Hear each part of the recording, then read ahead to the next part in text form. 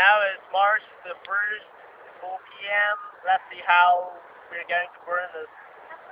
Yeah, I'll put two foot diameter parabolic dish. One It's already on second, it's on fire. Well, it See?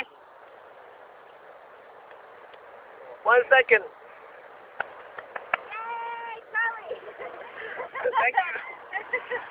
Okay.